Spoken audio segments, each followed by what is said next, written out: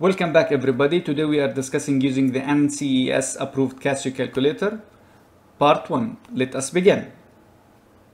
The first question is, what is the value of the following integral? So we have the integration from 0 to 1 to the square root of x plus 1.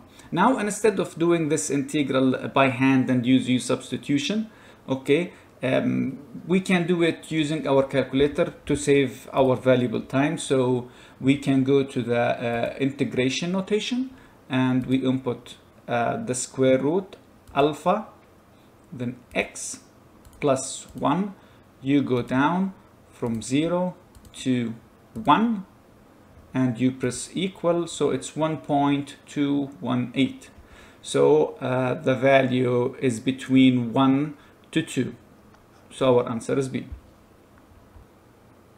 the next question what is the slope of the following curve when it crosses the positive part of the x-axis? Okay so uh, we need to find the slope and the slope uh, basically it's y prime of the function at a certain point. So that point is when it crosses the positive part of the x-axis. Now in order for us to know when this function crosses the x-axis that means the y value equal to zero.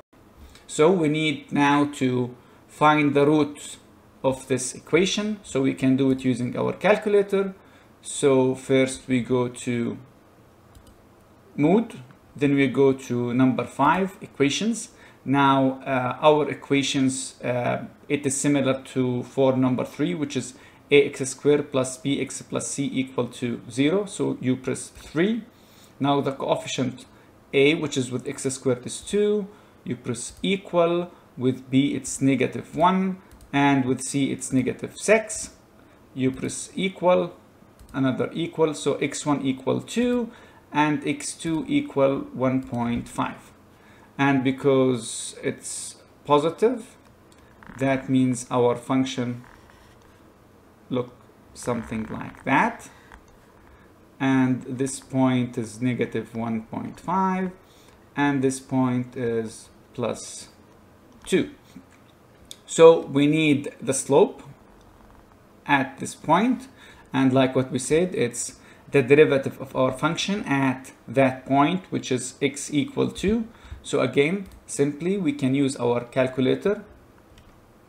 We go back to the computation mode shift and the derivative sign and we input 2 alpha x squared minus alpha x minus 6 so we need the derivative when x equal 2 you press equal and this is 7 so the slope equal to 7 the next question is what is the solution of the following system of linear equations? So we have system of linear equation and we need to solve it. Again we go back to our calculator. We go to the modes. We go again to equation which is number 5 for system of linear equation we can use number 2 because we have three unknown and the three equations. Just be careful that it should match the way that it is presented here. So the constant it's after the equality sign okay? So this is number 2 so a is four two six and 3 we have 8 4 negative 4 and 8 we have 8 negative 2 6 and 6 so we press equal. The x value is 0.875 which matches c. Another equal y is 0.125 and z is negative 1.25 and this is c. The next one knowing that j equal the square root of negative 1 which of the following is equal to 2 plus 2j squared divided by 1 minus j squared Now, there is two way to solve uh, this uh, expression. So um, either you expand it, okay, then you know that j squared equal to negative 1 and then you will cancel uh, the items from top and bottom and you will have your answer. Or you simply you can use your calculator but you need to go to the complex mode. So you go to the complex mode which is number two. So we have 2 plus 2 i squared divided by 1 minus i squared. And that is negative 4 which is 8